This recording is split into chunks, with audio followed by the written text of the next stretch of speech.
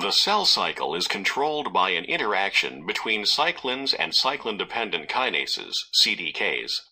During G1, the cell gradually accumulates cyclin, which binds to CDK to form a complex. When the level of the cyclin-CDK complex exceeds the threshold, the G1 phase ends and DNA replication begins.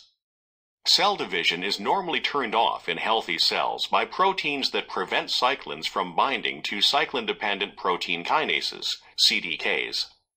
These proteins are called tumor suppressor proteins.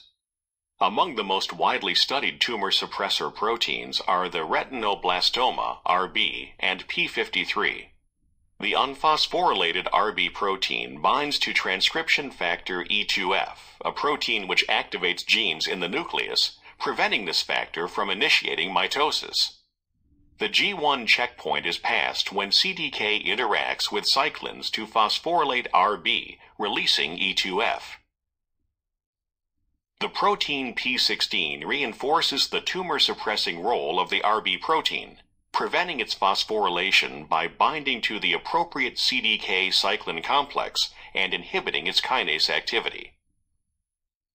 The tumor suppressor protein P53 works at the G1 checkpoint.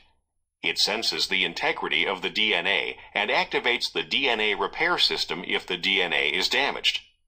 P53 stops the cell cycle at the G1 checkpoint to allow time for the DNA repair by inducing the transcription of P21, which binds to cyclins and CDK and prevents them from interacting.